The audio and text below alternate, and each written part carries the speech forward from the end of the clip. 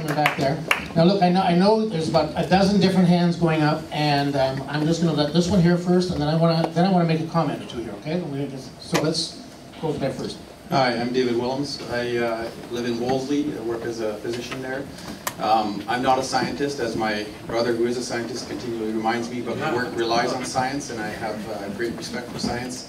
I think it's worthwhile kind of looking to scientists to answer science questions, if that's what the issue is.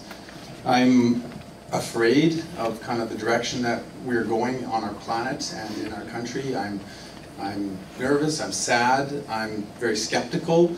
I don't really, there's a big part of me that doesn't believe that whoever is in power, that we really will have any significant influence uh, while they're in power. Um, and the one thing that gave me hope when I came in here was the words that I heard come out of your mouth. I, I know there's part of me that is, there, there's things in myself that I recognize that I don't like. There's, there's a streak in me that's greedy, that's selfish, that doesn't want to do difficult things, and I think we all have that. I also believe that people who are in government, I choose to believe, are there because they want to do the right things. I, I think party lines get in the way of that, but I, but I hope that people want to do that. You said that if we really want things to change, maybe we need to have a very hard discussion about making real changes in our lives and what we wear. I can't remember the exact words that you said, but I thought it was beautiful.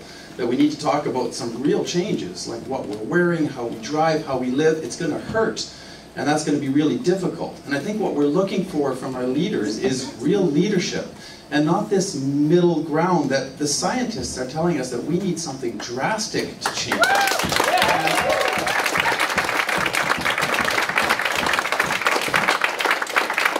we all try in our own way to do it. We all fail. We all struggle with the same things. We don't want it to be difficult.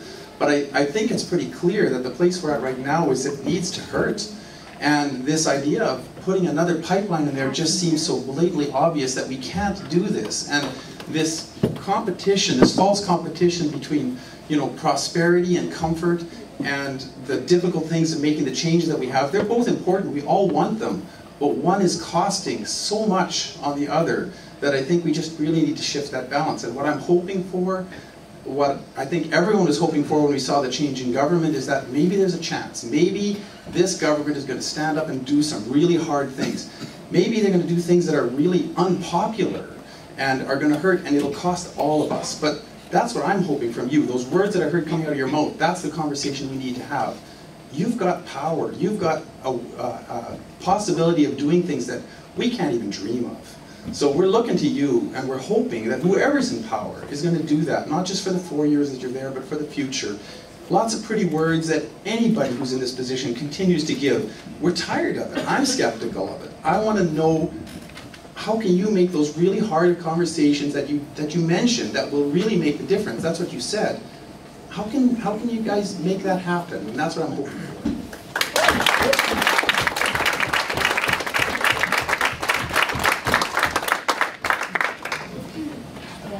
Okay, I just want to take a moment here for a second.